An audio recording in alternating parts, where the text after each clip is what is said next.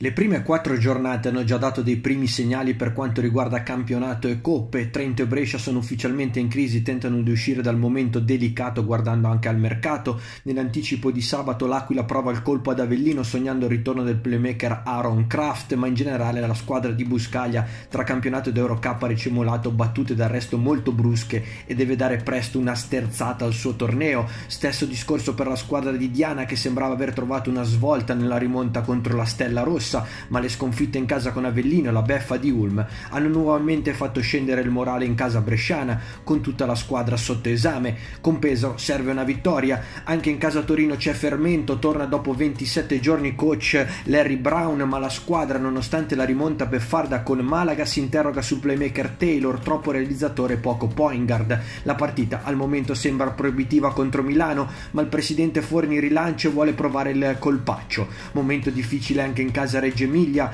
una sola vittoria, Butterfield fuori 5 settimane e una chimica di squadra che stenta ad arrivare. C'è il cannoniere Ledo, 41 punti con Cantù, ma con 30 tiri. Non sembra essere il miglior viatico per la squadra di Cagnardi. In Emilia arriva la lanciatissima varese di Attilio Caia che nonostante il primo KO in Coppa in Ungheria, viaggia vele spiegate su una base già consolidata. Affascinanti le sfide tra Venezia e Bologna che ritrova Queli e tenta riscatto dopo il pesante KO interna con Cremona Verona e la squadra di Raffaele, reduce dal primo stop stagionale ad opera del Tenerife in Champions. Anche Brindisi Cantù promette scintille e Brianzoli sono in grande gas e non hanno le coppe mentre Brindisi prova ad elevare il suo livello e battere una squadra di categoria al momento superiore. L'anno scorso la vittoria dei Lombardi estromise la Dinamo delle Final 8 di Coppa Italia, sfida salvezza Trieste con l'Alma che sembra comunque favorita su una pistoia in grande difficoltà e contestata dal pubblico dopo l'ultimo tonfo interno proprio contro contro Brindisi, infine il match del giorno ovvero la sfida tra la Dinamo di Vincenzo Spolito e la Vanoli di Meo Sacchetti e Travis Diner con il coach bianco-blu che presenta la partita. Eh, dal punto di vista tattico soprattutto sarà importante la gestione dei, dei ritmi, il controllo dei ritmi della gara eh, e il cercare di, di, di aggiustarci eh, alle, alla tipologia di giocatori che ci troveremo di fronte perché una squadra eh, che gioca soprattutto dal punto di vista offensivo eh, situazioni che non sono come quelle del 70-80% del, del, resto del campionato italiano. Eh, quindi... Cremona ha vinto tre partite su quattro con scalpi importanti tra cui Trento, Avellino e Bologna, ma coach Salchetti parla sempre di punti salvezza. Noi abbiamo fatto il nostro, sappiamo che la strada è ancora lunga, ma ci giochiamo con lo spirito che abbiamo avuto in quasi tutte le partite.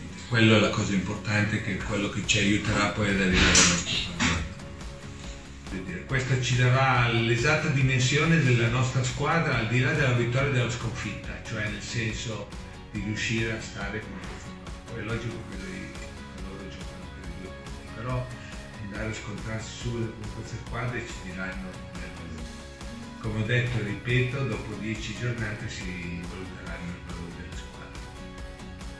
In casa Sassari si guarda comunque con fiducia al momento positivo della squadra, Squadra in forma, squadra che ha dimostrato anche domenica scorsa di, eh, di avere potenzialità per giocare un ruolo importante in questo campionato.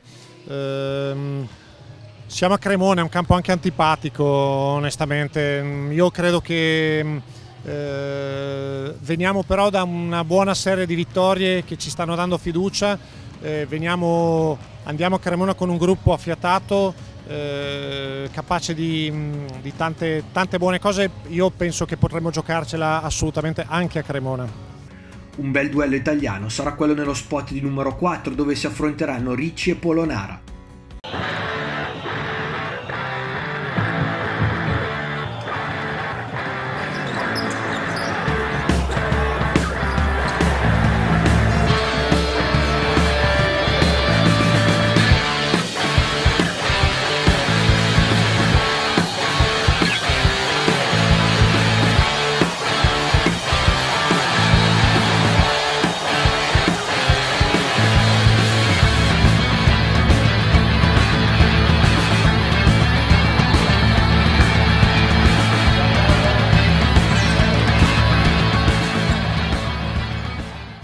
Si possono scomodare gli almanacchi per le sfide tra Cremona e Sassari dal tappin di Russell Carter in Lega 2 alle finali promozioni in A1 alla conquista dei playoff del primo anno di A1 di Diner e compagni e quarti di finale delle Final di Desio che poi sancirono il trionfo della Dinamo senza dimenticare la bomba di cazzolato al forum o gli scontri che hanno animato le ultime stagioni, buzzer bitter di Holloway e poi Pancotto successivamente esonerato e Cremona retrocessa, insomma ce n'è per tutti i gusti, una cosa certa, domenica al Palaradi non sarà una sfida come le altre.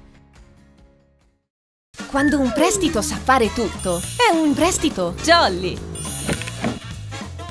Prestiti personali, 15.000 euro in 72 mesi, TAEG 6,29%.